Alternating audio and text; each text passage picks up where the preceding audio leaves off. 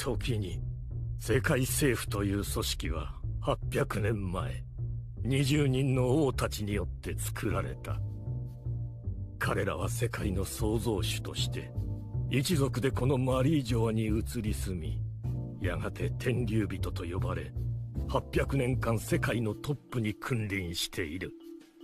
内部では20人の王たちはあくまで平等であり一人の独裁者など生まれぬようにあえて空っぽの玉座を作り誰もここに座らぬ誓いに王たちの20本の武器でこれを囲った。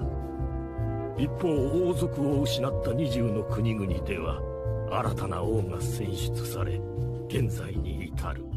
したがって最初の20人に名を連ねる王族の名は祖国には残っていない。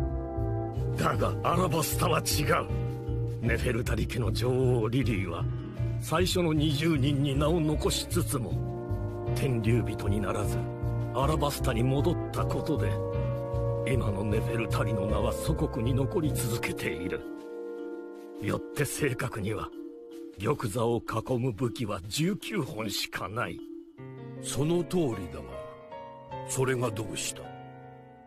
国に残る古い書物を読み漁ったのだ。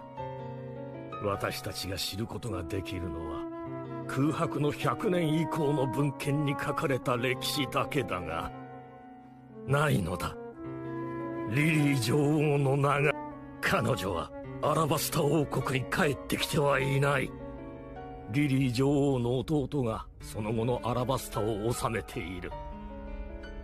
彼女について何か知れないか何かと思えば800年も昔の話確かにネフレタリ家の王だけがここに住まなかったのは事実だが我々とて国に帰ったものと考えていたその理由も動向も大昔のこと知る由もない。すまんな。わからん。